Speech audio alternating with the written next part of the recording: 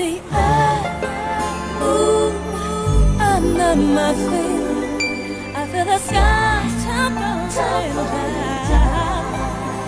I feel my heart starts trembling whenever you're around. Still trying to figure out how to take me one on one? Joe. Joe, are you asleep? Not anymore. Joe, you know I'd rather die than wake a sleeping Then intern. die. Funny guy. Listen, I just got a message from Scott. They found Serena. Oh, that's great. Yeah. I just had to tell someone. I'm glad it was me.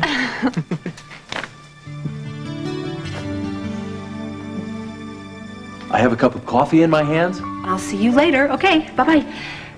Hi, good morning. I, did I wake you up? No, no, you didn't wake me, but there was coffee on the nightstand, the room. Well, it's immaculate. And you practically made the bed around me.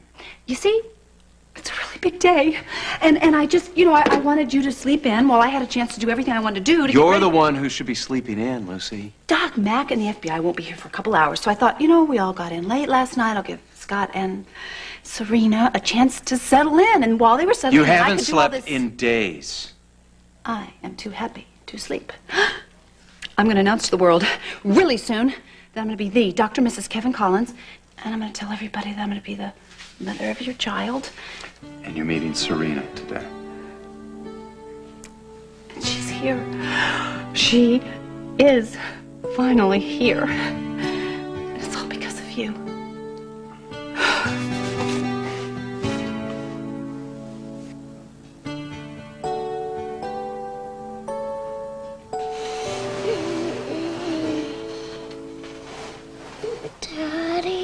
Look who's up. Good morning, pumpkin pie. Are you okay? Am I okay? Yeah. You look funny. I'm fine. And now that you're back, I'm perfect. Me too.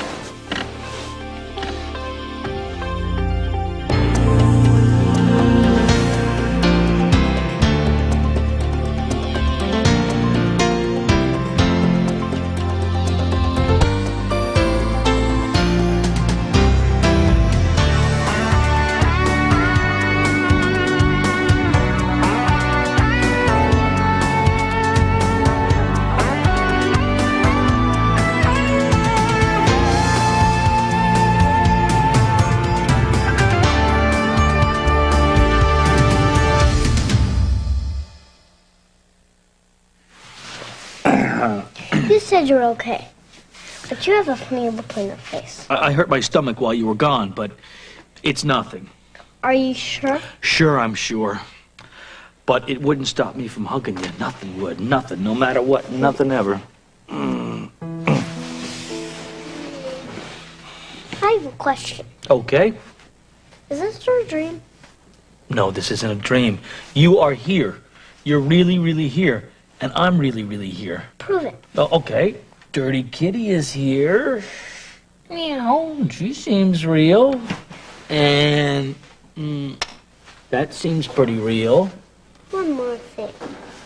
Okay, what? A secret handshake.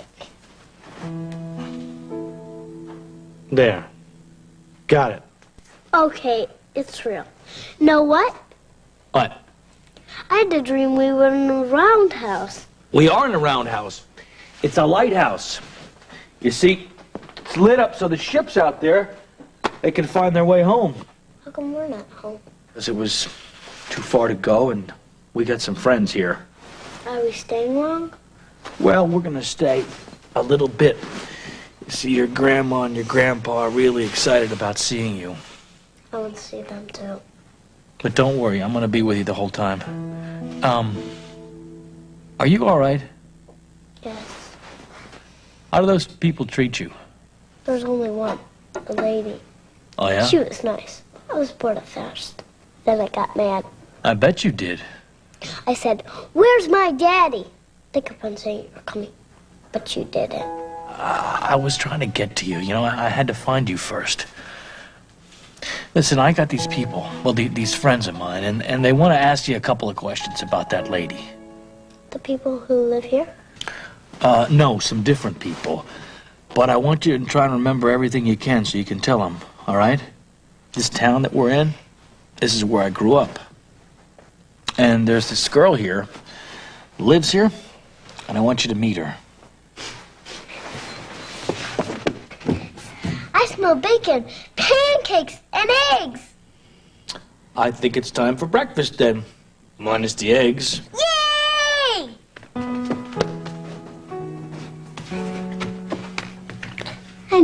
Come for me, Daddy. I'll always come for you. Now, can I ask you a question? Sure. Can I have another hug? Ah, there you go. Do you think I have enough? This is plenty if you're feeding Guam. Right. Good. Okay, see, it's just that, you know, Lee and Gail are coming over, and I'm not sure what she likes. I mean, I don't know what Serena really eats for breakfast, and. Oh, boy. What's the matter? Oh, what am I thinking? She's Scott's daughter. Serena's Scott's daughter.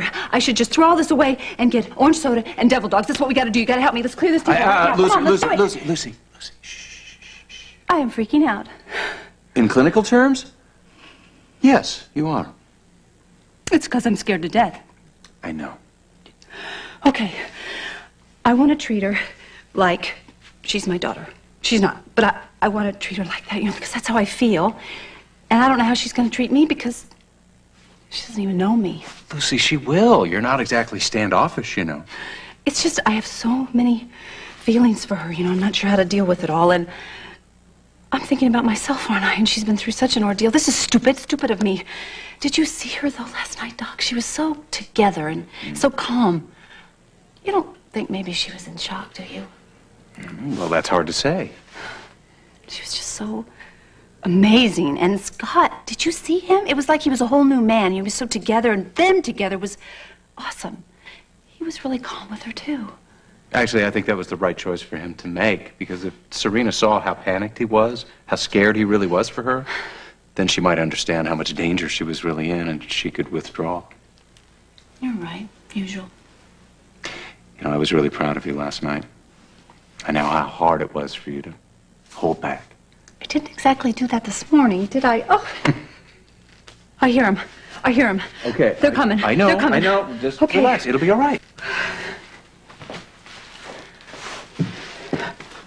Serena, this is Dr. Collins. Hi. I am Dr. Collins, but you can call me Kevin if you want. And this is Lucy Coe. Hi. You are so incredibly beautiful. I, I made you some very beautiful pancakes. Who is she? Um, you see, I am a very, very good friend of your daddy's. And I was a very, very good friend of your mommy's. And what I'm so looking forward to is maybe me and you. Maybe we could be really, really good pals, too.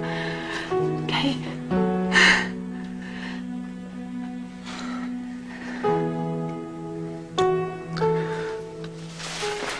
So, is your sister all right?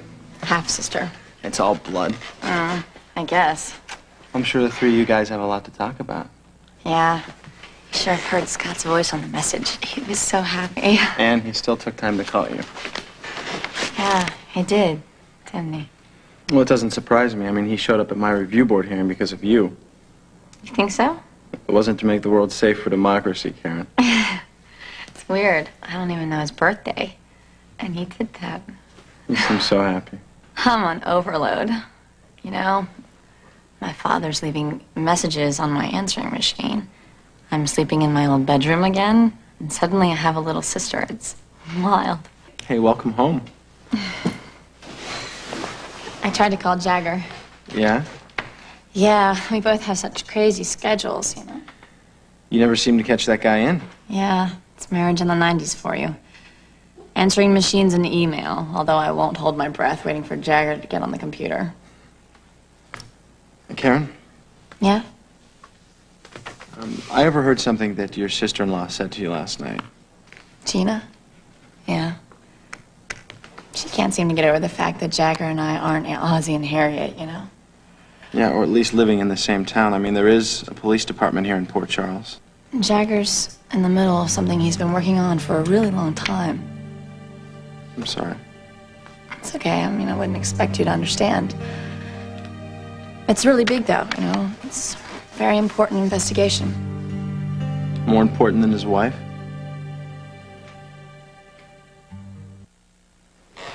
Look, I'm sorry. Your marriage is none of my business. It's okay. I mean, I, a guy does brain surgery with someone he thinks he knows everything. You know, when it comes to major brain surgery, you're my consultant, but in the marriage I know, arena, I know. But if I can help, with Jagger and Gina, it's complicated. Their brother Stone died of AIDS. I'm sorry. The children in that family were all alone, and Jagger was the oldest. Um, he tried to keep things together, but he was just a kid himself. So Stone ended up on the streets. And that's when he got sick. Life just threw too much at Jagger. He's still dealing with it. huh? He doesn't let go of things. Actually, I think that's why he's such a good cop. But the man has a wife. You have to let go of things at some point. Well,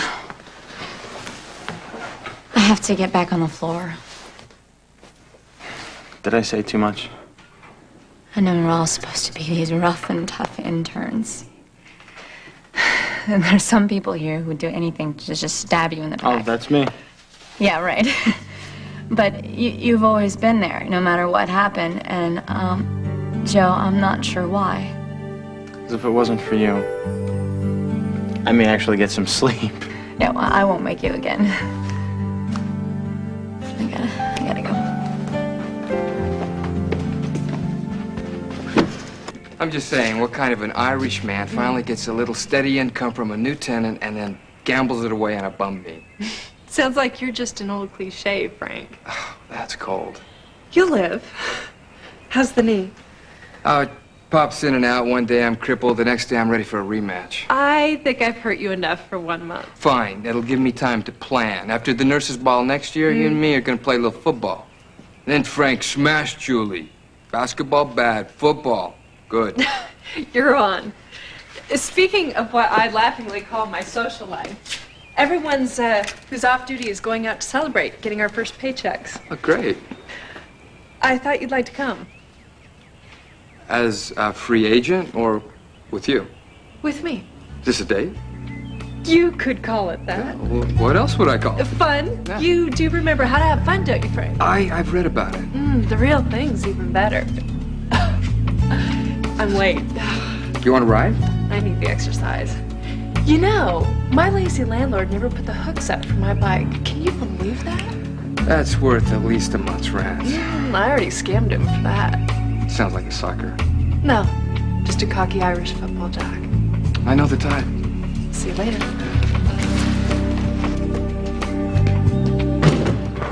Where were you when I needed you? It was a wonderful breakfast, Lucy. It really was. And it feels good to be celebrating in this house for a change. Why does she keep on staring at me? We missed you, and we're just, you know, making up for lost time. You didn't know Rosette, did you, Daddy? No, um, I didn't. Hey, Serena. Did you know that Lucy has her very own duck? You do? Yeah, I really do. His name is Sigmund, and he's a great duck. Do you want to meet him sometime? Actually, I'm surprised he hasn't come in here yet. He usually walks right into the middle of the house. Why? Choose the phone? No, he hasn't done that yet, but there's a first time for everything. Kevin did a lot to help me find you. He did? Yes. And so did Lucy. Uh, she took care of me when I wasn't feeling so good. Uh, and you know what? I never did thank them. He's cranky when he doesn't feel good, huh? He had a good reason to be sort of cranky. Look what he was fighting for. You. Well, um, thank you.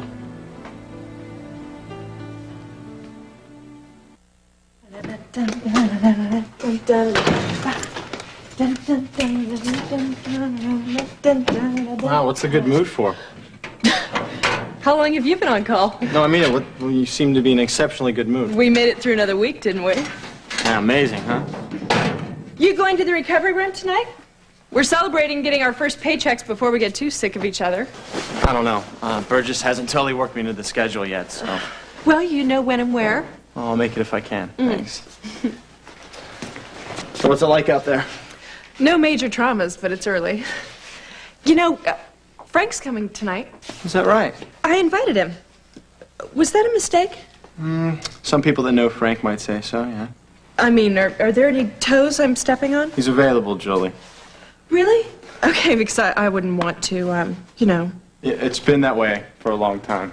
Oh. Uh, the last girl I remember bit the dust because she told Frank Newt Gingrich was misunderstood.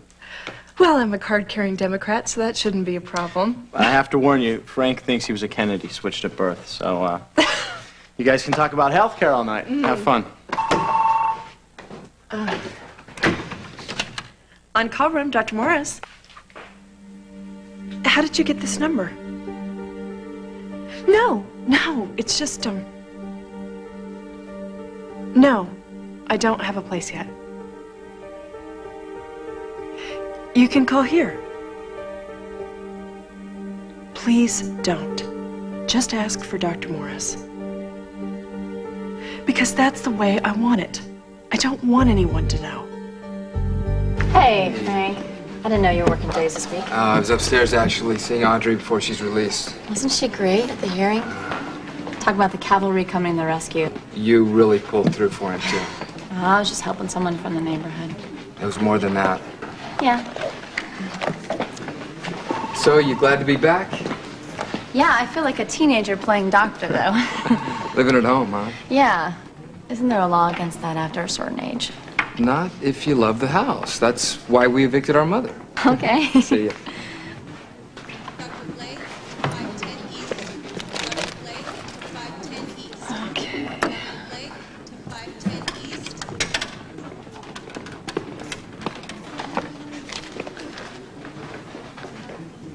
Hi, uh, this is Karen Wexler, and I'm calling about your apartment for rent.